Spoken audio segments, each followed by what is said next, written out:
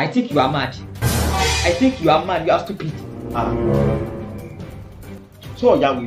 Jesus. Wow. So the nice Timbal come back. You are causing me. No, no, no. You are causing me.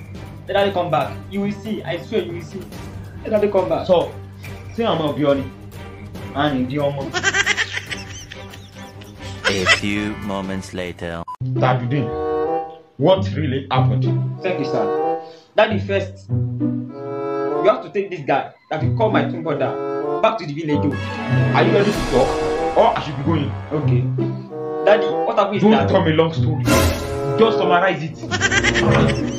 daddy can you imagine this guy is using my toothbrush yeah! he to the ball with me how he does that. he's a lie ngbo you are using your twin brother brush daddy Eba bá ń bí pé ṣé kò tó fi ń lo charger tèmi. fúnkẹ́. fúnkẹ́. my own charger has spoiled now. bros tèmi náà ó ti expire. Jesus is Lord.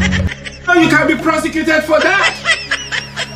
Oh, I love it. I love it. Oh my days, irú ọmọ mo wá rí nítorí ọlọ́run. Báwo lè jìyà lọ lórí àwọn ọmọ rẹ̀? Mo jìyà lọ, you will move out.